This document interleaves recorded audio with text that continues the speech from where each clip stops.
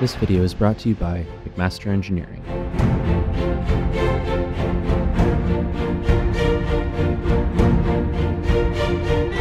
Good morning. We're bringing you breaking news in East Asia.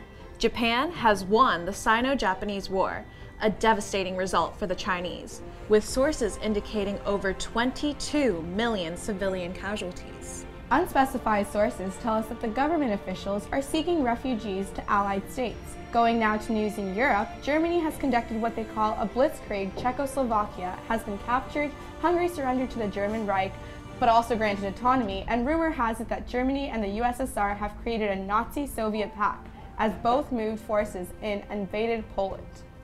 In addition, sources indicate that the ever-expanding Nazi regime has entered an alliance with the Japanese Empire, as well as Francisco Franco's Spanish Republic.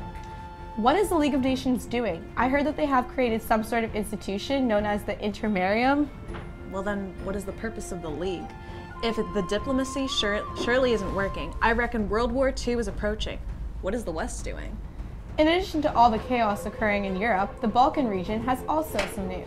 Despite Czechoslovakia falling to the Germans, it appears it was due to their army dealing with a complete invasion to Romania.